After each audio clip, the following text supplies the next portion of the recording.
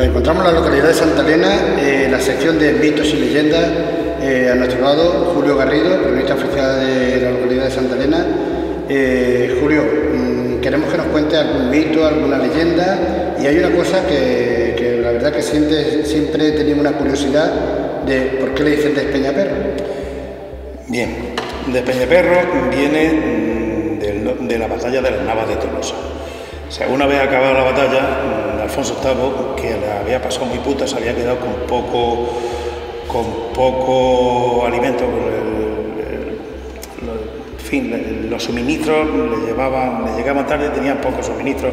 Entonces, claro, eh, todos los prisioneros no quiso hacer prisioneros. De hecho, dio orden de que trajera un prisionero, moría con él. Eh, pues había gente que se había rendido, que se rendió después de la batalla, que no le dio tiempo a huir estaban allí arrodillados y rendidos. Y, qué recursos vamos a gastar en quitarnos a esta gente de medio? Pues la forma más fácil fue echarlo. Posiblemente en lo que hoy conocemos como el collado de la aviación, que es uno de los escarpados más grandes que hay, seguramente. Eh, claro, en aquella época a todos los que no eran cristianos se llamaban perros infieles.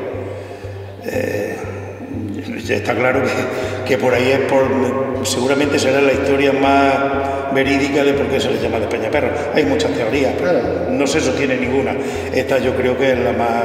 Claro, perro infiel, de, de, de, de, peña, de peña, de peña, perro, de peña perro. Sí, de peña perro, que no tiene otra, no tiene otra historia.